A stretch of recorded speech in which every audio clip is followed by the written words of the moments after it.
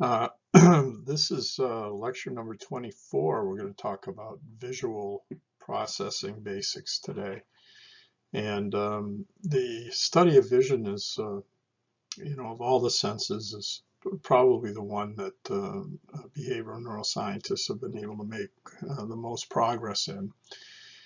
And we're going to be talking uh, about some older research uh, as well as some uh, more recent work that has been done in this area um, uh, in, in our, uh, our next lecture. But today what I want to do is really lay the groundwork for um, uh, some of that more recent work that has been done. so when we talk about the biological basis of vision, what we're doing is we're talking about um, uh, what happens when we perceive a stimulus, uh, a visual stimulus, and the chain of events that occurs, um, uh, beginning with our uh, with the eyes, uh, and what happens with the receptors in the eyes, um, how that information is transferred uh, to various parts of the brain, namely uh, to the back of the brain uh, in the striate cortex, uh, and then how that information uh, ultimately gets to to other parts of the brain. So um, you know we have um, you know quite a bit on our our plate uh, for uh, this lecture today. So let's begin by talking a little bit about what I call the limitations of our visual system. Uh, I think that um, you know as good as our um, our visual senses are, um, you know, oftentimes we're in situations where we think that we see things, but uh, we really don't. And obviously that has uh, important implications for our legal system. Um, you know, those limitations that we have, uh, imperfections in some ways in terms of our visual system, uh, you know, we try to impose order on what we see, and sometimes our ability to do that, uh, impose that order, impose that organization, um, uh, is something that we can't can't really do.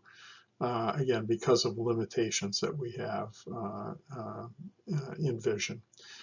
You know, consider what happens in a court of law, oftentimes where we have eyewitness testimony uh, you know, what did you see during that particular event? Are you sure that you saw what you saw? Uh, and um, those uh, uh imperfections uh, that we have um, can oftentimes lead to erroneous conclusions. Uh, so again, um, our visual system, as great as it is, has limitations, and it's those limitations that I want to give a you know a little bit of uh, background uh, in uh, before we begin to take a look at the biology of visual processing. Um, so um, some of the more uh, uh, well-known, better-known uh, visual illusions. certainly, this is one here. You know, is this a duck or a rabbit? here's a duck that you see right here. Here's the head, the eye of the duck, and the the beak uh, of the duck. Um, but you can also perceive this as being a rabbit. You know, here's the rabbit, again, the rabbit's eye, uh, the mouth, and the uh, ears uh, of the rabbit. So um, again, you know, uh, context is obviously incredibly important in terms of our visual processing. And sometimes, again, we think that we see things and, and we really don't, or we can see something else um, uh, instead of this is subject to interpretation.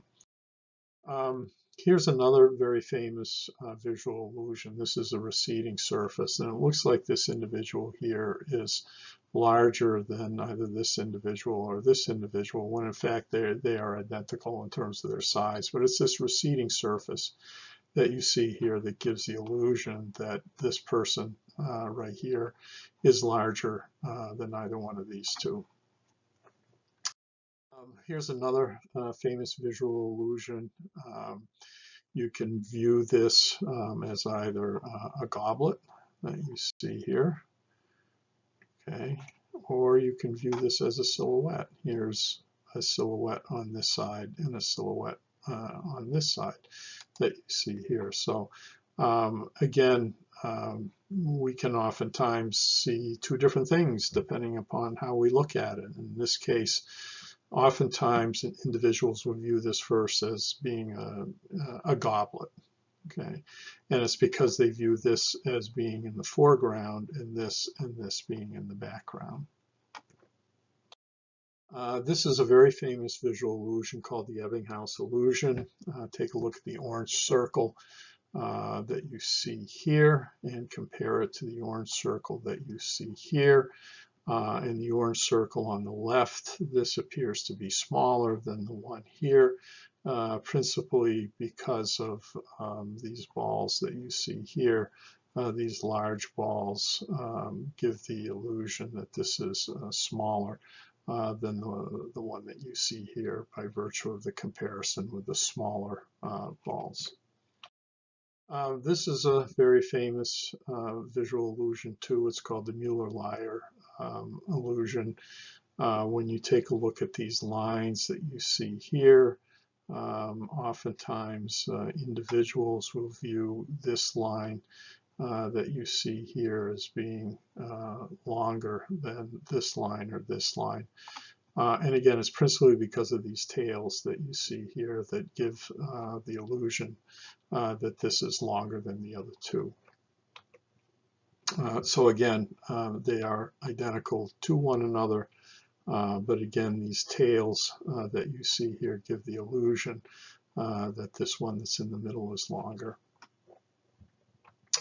Uh, so, um, you know, these are a few of, you know, some of the famous uh, visual illusions that uh, psychologists uh, um, studying visual processing have been have been interested in exploring. Uh, here's yet another very famous one. Um, uh, this can be viewed as a young woman or an old woman. Here's the young woman that you see here. Here's her nose. Here's her eyelash. Uh, here's her chin that you see here. Here's her ear. Um, or you can see this as an old woman. Um, this is the nose of the old woman that you see here. Here's her eye. Uh, here's uh, her mouth uh, that you see here. This is a visual illusion that is really related a great deal to previous experience. Um, individuals um, that are older um, uh, when they view this, they tend to see the old person. Individuals who are younger, uh, maybe in their teen years or in their uh, 20s, uh, view uh, the younger woman first. So a lot of this is related to experience. Um, this is a very famous um, visual illusion called the Rat Man visual illusion. Uh, if you take a look um, at these uh, series uh, of pictures that you see here, um, this is a, a, picture of a, of a uh, rooster. Uh, this is a picture of a dog. This is a picture uh, of a cat. Uh, this is a picture of uh, a rabbit. And when people see this picture after viewing those animals, they tend to see a rat. Here's the nose uh, of the rat that you see here. Here's the ears of the rat. Here's the rat's tail. Here's the rat's hind leg. Uh, but now take a look at this sequence of pictures that you see here. Uh, this is uh, a boy. Uh, this is a man. Uh, this is a woman. Uh, this too is a woman.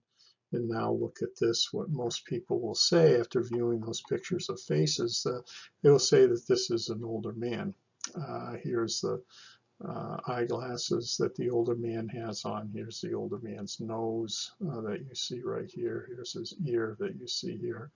So again, depending upon what you've seen in the past, this can very much influence, you know, our expectations um, in terms of uh, of what we see. Our previous experience uh, can can uh, definitely influence um, uh, what we see. So that being said, uh, let's take a look um, at some of the basics of our visual system. This is a, uh, a, figure that you've probably seen numerous times, but it does, you know, point out some of the main anatomical features of the eye that you should be familiar with. Uh, this is the cornea that you see here, which is the protective layer uh, of the eye. Uh, the light is going to enter by way um, of the uh, pupil. Uh, and the, the light is going to be focused by the lens uh, that you see here. Uh, and again, this um,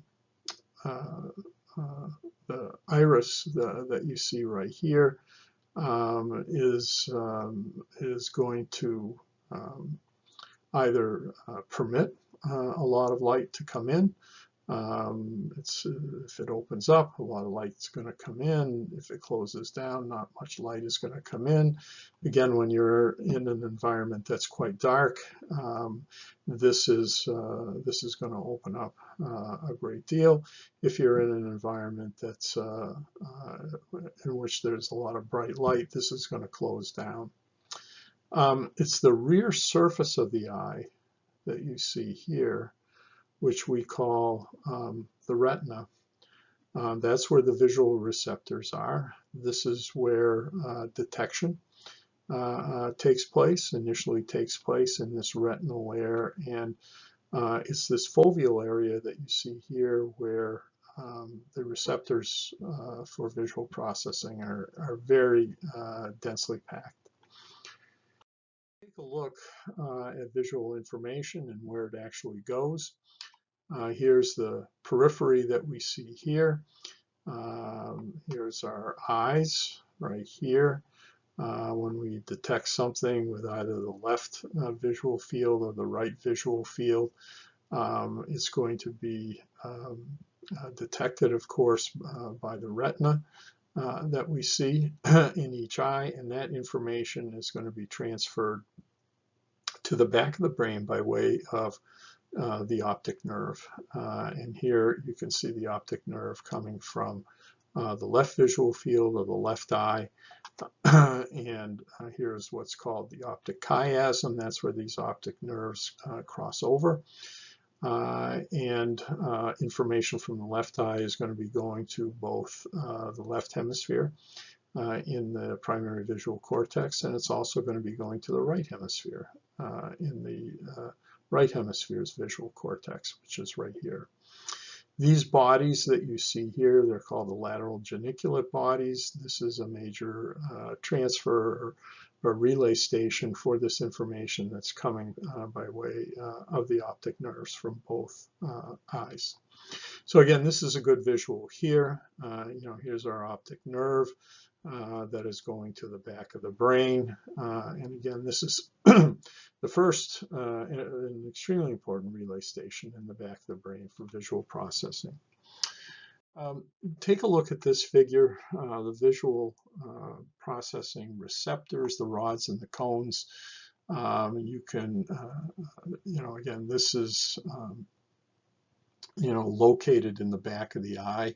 Uh, these are the rods and the cones that you see here. Um, I'll have a, a blow up of this in another slide, but there's some anatomical differences, uh, important anatomical differences between the two. They're going to be sending messages uh, to the bipolar layer. Uh, that's these cells that you see right here. That uh, information from the bipolar cells is going to go to the ganglion cells. Here's the ganglion cells that you see right here um, a, an interesting and important um, advance in this area. These cells that you see right here that are called amacrine cells, uh, they have um, a very important function that we'll be uh, talking about in just a moment.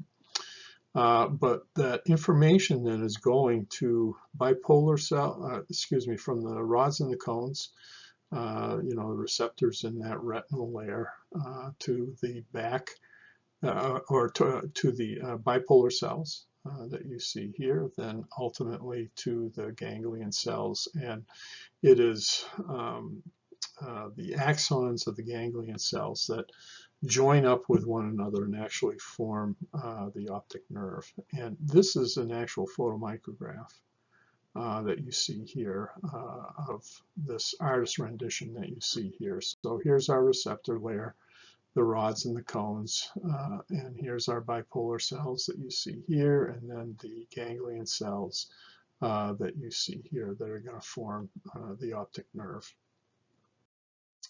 Um, mention the amacrine cells. This is a, you know, a relatively new advance in terms of our understanding that this is an amacrine cell that you see right here. Uh, and amacrine cells uh, receive information from bipolar cells and they send that information to bipolar cells as well as ganglion cells. Um, the amacrine cells, their primary function is in terms of responding to shape and to responding to movement. Um, uh, and uh, again, this is uh, something that has been a relatively new um, advance in the field of uh, study of vision. Uh, this is uh, yet another portrayal of the rods and the cones. Um, again, take a look at this layer that you see right here. Again, here's our rods and cones that you see right here in the back. Um, and uh, this area that you see right here, uh, the, the, these are blood vessels that you see right here, uh, and um, uh, uh, the optic nerve um, that you see right here. This is where those ganglion cells are joining up uh, to form the optic nerve. Um, this area um, at the back of the eye uh, this is called the blind spot. Uh, and indeed, the, the reason why it's called this is because there are very few receptors uh, for visual processing. Um, the receptors um, uh, that are responsible for uh, you know, these initial stages in terms of visual processing um, if you take a look, uh, this is an artist rendition that you see here of what a rod uh, looks like and what a cone looks like. Uh, so again, you can see this, um, uh, that this is uh, dramatically different uh, from what you see in the case of a rod. And here's, you know, an actual photomicrograph. Here are, um, uh, rods here. Here's a cone that you see right here. There's a number of important uh, distinguishing features about rods and cones. If you take a look um, at the at the rods uh, that you see right here, and again right here. They are very abundant in the periphery of the eye, and they respond a lot to faint light. Black and white visual processing is primarily mediated by, uh, mediated by those rods, uh, and there's about 120 million of them per retina. Um, cones, on the other hand, again, here's a cone, here's a cone that we see right here, are much more abundant uh, in and around the, the fovea. Uh, they're responsible for color visual processing. There's approximately 6 million per retina. Uh, and they tend to function uh, in, in bright light. So again, there's a number of important distinguishing features between rods and cones. Uh, anatomically, they're different from one another. Um, they are different in terms of their function. You know, rods are principally black and white visual processing. Cones are principally uh, color visual processing. And um, uh, in terms of their distribution, you know, rods are very abundant in the periphery of the eye and, and uh, not so much in the center of the foveal area. Cones are much more uh, present uh, in the uh, foveal area as opposed to the to the periphery. So again, some important distinguishing um, differences between uh, rods and cones. There are a number of different theories of uh, visual processing, um, and you know you should be aware of some of the basics here. Um, the trichromatic theory, also referred to as the Young-Helmholtz theory, and that's an, an, older theory of visual processing, says that we perceive color by way of uh, different rates of responding by, by different cones, uh, essentially three basic types of cones. Um, each, um, each one is sensitive, again, to different wavelengths. So, for example, we have long wavelength cones, that respond to red uh, or yellow. We have medium wavelength cones. They respond best to green and less to yellow. and short wavelength cones, and they respond best uh, to blue.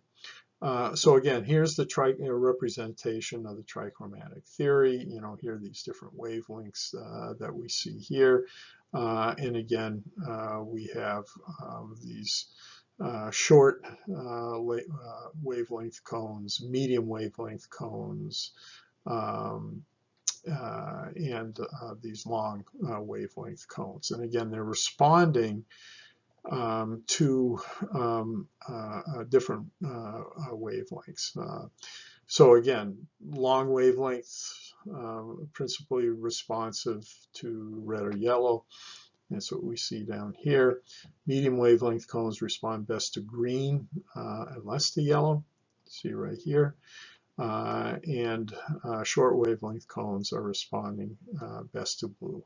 So again, this is simply called the trichromatic theory, that we perceive color by way of different rates of responding in, terms of these three basic types uh, of cones. Another theory is called the opponent process theory, and it's saying something a little bit different. It says that we perceive color in terms of paired opposites, like uh, red to green and yellow to blue. Uh, so the brain has a mechanism then of perceiving color on, on these uh, continuums. Uh, and um, it is thought that uh, one of the mechanisms that's involved with this is the bipolar cells. They're, they're being excited by one set of wavelengths and they're being suppressed or inhibited by another set of wavelengths. So again, here's our opponent process theory. Um, here's the achromatic part of it, the black and white visual processing. Uh, and here's our chromatic uh, uh, uh, part of the opponent process theory in which we are responding uh, to these continuums, red to green and, and um, uh, yellow to blue, as you see here. Um, so of course, you know, one asks, you know, which theory is it? Which is the one that has the, the most support? I think both are probably needed. Both are probably important. Uh, the trichromatic theory is principally involved with helping us to understand visual perception um, by, by examining the photoreceptor level. Um, in contrast, the opponent process theory is saying that color visual processing is really a product of how those photoreceptors are communicating with one another and how, how they are interconnected with one another uh, in terms of neural processing. I think that um, there's another theory, certainly that has been advanced by, uh, by other theorists in this area. It's called the dual process theory. And uh, simply what it's saying is that, uh, you know, our visual processing is really a product of these, of these two things, uh, in that we have a trichromatic stage uh, that we see here, uh, and an opponent process stage that we see here. So it's really understanding what's happening at the photoreceptor level, and it's also under uh, the attempt to try to understand what is happening in terms of how those photoreceptors are connected with one another, how they are neurally connected with one another. So it's probably both of these theories that we would need to utilize in order to fully accommodate um, uh, color visual processing.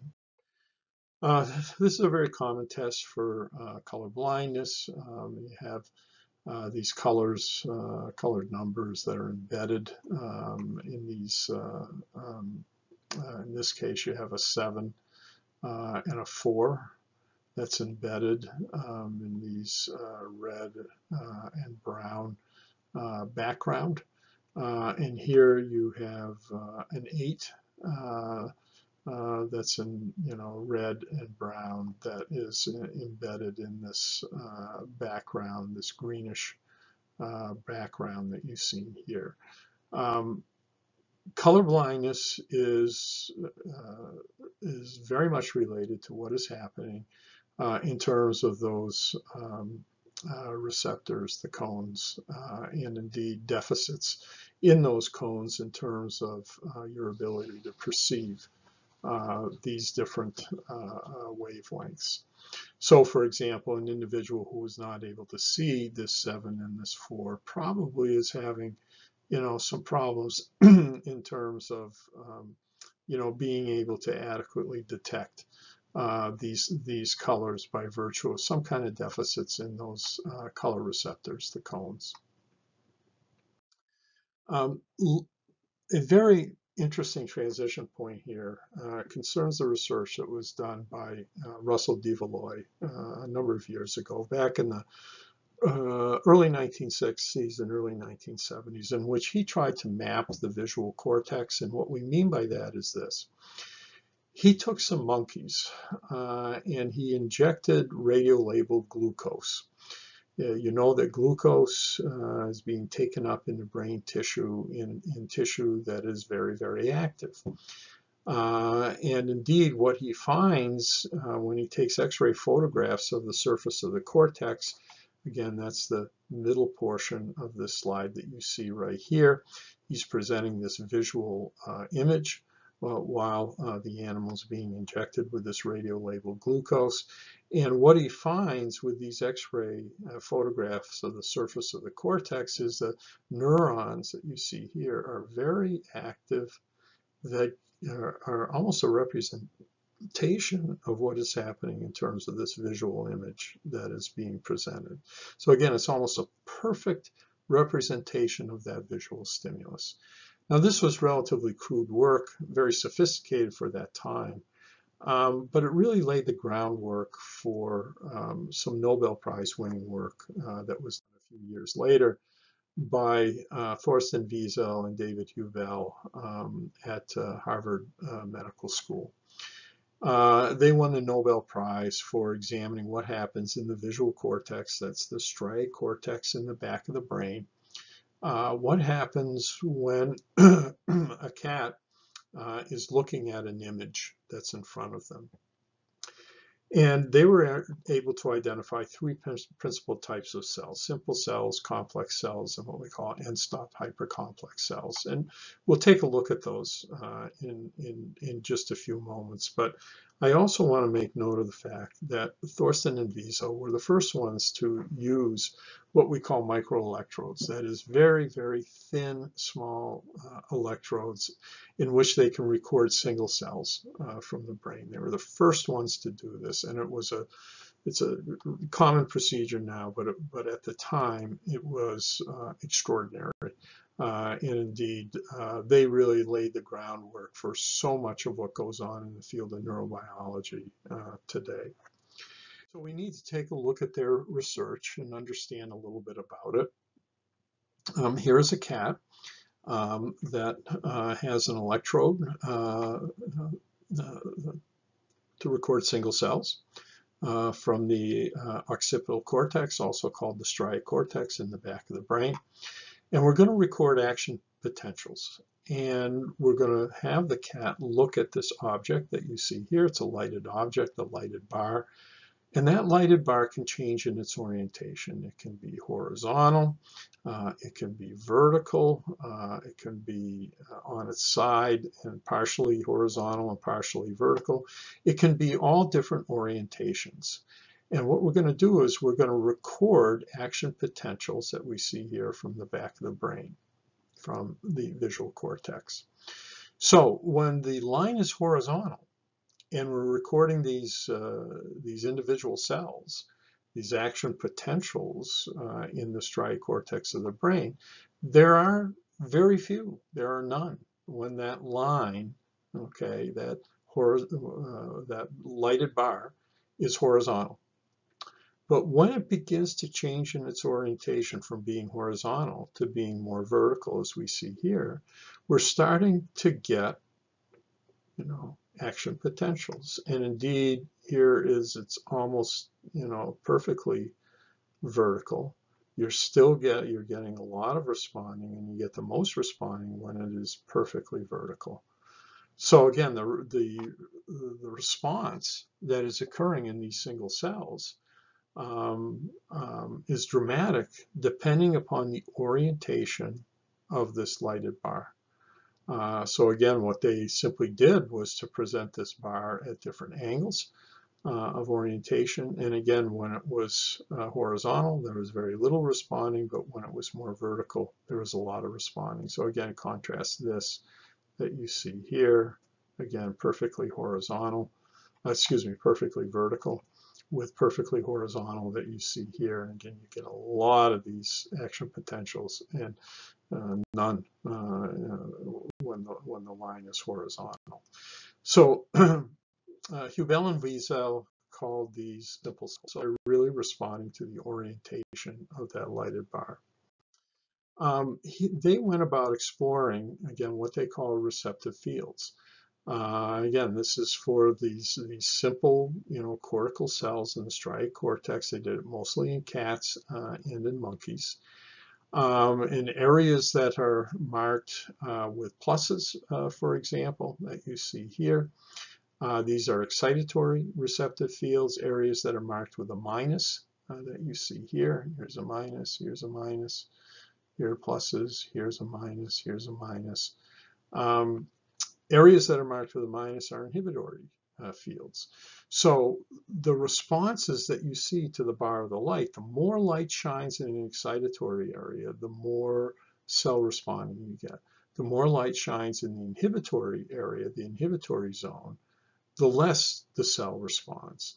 So an individual cortical cell is going to be responding based upon um, uh, how much of the excitatory zone uh, it is actually stimulating and how much uh, of an inhibitory zone.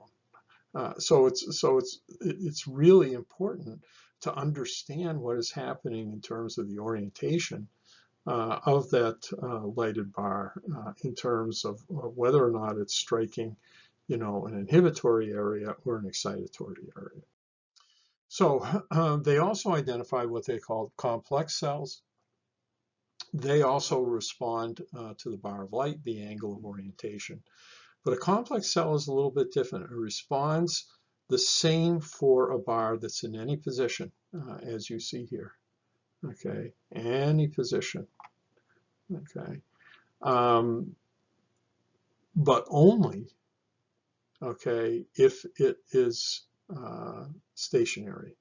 Uh, uh, uh again, if, if it's not um, uh, uh, stationary, then, then um, you know, you're going to see an entirely different response. So complex cells are responding then to that bar of light if it is in any position within that receptive field, but they don't respond uh, if it is stationary. So it has to be moving. And indeed, if it is moving, then you're going to see responding. Okay. So again, here's, you know, this is moving. You get a very high response, high response. But now when it stops moving, okay, you get low response. Uh, and indeed, um, uh, this is a, you know, a separate type of cell in terms of how it goes about responding to that environmental stimulus. Um, you also have what they call end-stop cells. Uh, and simply put, what we have here is that that lighted bar, as long as it doesn't go into an inhibitory area, um, you're going to get responding. So again, here you have a strong response. Here you have a strong response. Uh, here you have a strong response, but now look what happens when it goes over into uh, this inhibitory field that you see right here. Um, you get a, a, shutdown, a very weak or, or no response. So when you take a look at um, the, the, the, different types of cells um, that they were able to document uh, in their research, um, uh, simple cells are in what we call the, the vision one uh, area in the back of the brain. Um, the size of that field is quite small. Uh, again, it's bar or edge shaped. You have fixed excitatory and inhibitory zones. That's the simple cell. Complex cells are in both the vision 1 and vision 2 area, and that's something we'll get into uh, a little bit more when we take a look at some of the more recent research that has been done in this area. Um, the size of the receptive field is, is medium. Uh, certainly it's larger than what we see in, uh, in the case of simple cells. And it's bar or edge-shaped uh, objects um, you know, without fixed excitatory inhibitory zones, they're responding to a stimulus anywhere, especially um, if it is moving and it is moving perpendicular to its axis.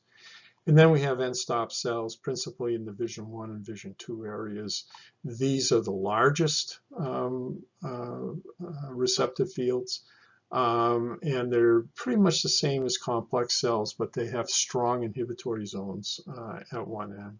So again, they were able to document this in their research. And this is, you know, this, this first relay station um, in the back of the brain. Uh, they were the first to, to really uh, uh, understand, you know, what is happening in terms of visual stimuli and how they're impacting um, the brain. So um, that brings this lecture to a close. Our next lecture is going to talk about, uh, we're going to talk about some of the more recent research that has been done in this area. Um, uh, research, for example, um, uh, uh taking a look at what we call uh, face recognition, uh, and then research in terms of, you know, what happens um, in terms of visual processing. Once that information goes to the back of the brain, the striate cortex, then the then the different uh, neural pathways uh, in the brain uh, in terms of where it is going to, to other parts of the brain. So we'll take a look at that um, in uh, our next lecture.